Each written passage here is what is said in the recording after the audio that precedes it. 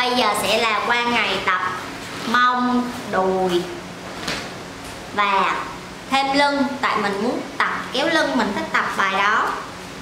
Và theo thường lệ thì mình sẽ khởi động bằng bài chân minh chắc và squat. Như clip kia mình đã nói thì là ba lần nhân quên 20 cái nhân cho 3 hiệp. Rồi, bài đầu tiên là deadlift. Thì đây một mình ghi là số 20 nhân 15 tức là tổng cộng nguyên thanh đồng và tạ sẽ là 20 kg nhân cho 15 lần.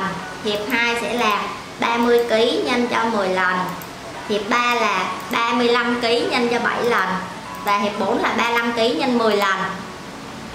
Clip chi tiết thì ra mình sẽ up nha. Rồi, bài số 2 là đá mông ôm ghế bài này mình tập với trọng lượng cơ thể nên mình sẽ ghi là 47 là số ký hiện tại của mình. Nhân cho 4 lần 4 hiệp chứ. Là mỗi hiệp 10 cái luôn đó nên cái này phải ghi nhân 10 nữa mới đúng. Rồi, bài thứ tư là bước lùi về sau. Giống như bài bước, nhưng mà bước về sau thì nó căng hơn. Thì là 47 nhân 10 lần và nhân cho 4 hiệp. Bài số 4 là kéo lưng. Là thường kéo với cái sợi dây á. Là 40 bao nhân cho 10 xong rồi 3 hiệp còn lại là 50 bao hết nhân cho 10 là nói chung là mỗi hiệp là phải tập.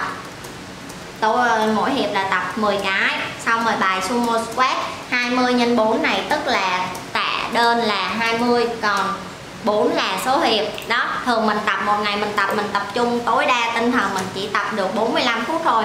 Quá 45 phút là độ tập trung tối đa của mình sẽ không còn nữa và mình sẽ đuối. Và thường thì mình sẽ nghỉ rất là ít. Để rút ngắn thời gian buổi tập á, tập nhanh cho đỡ buồn ngủ, tập lâu buồn ngủ đó với lại lười nữa, nên là mình tập nhanh, thật nhanh. Nhưng mà vẫn phải cảm nhận được là nó cần vô đúng cái phần mà mình tập thì mới là tập đúng rồi, hết rồi. Đây là lịch tập của ngày mông đùi và thêm một chút lưng để cho lưng thẳng nha.